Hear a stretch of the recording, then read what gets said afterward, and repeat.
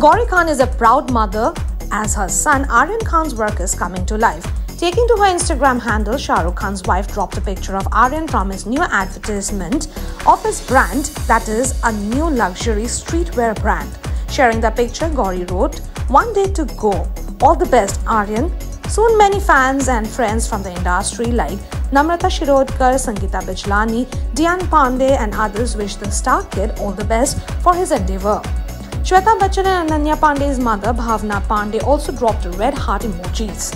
For more news and updates, stay tuned to E Times.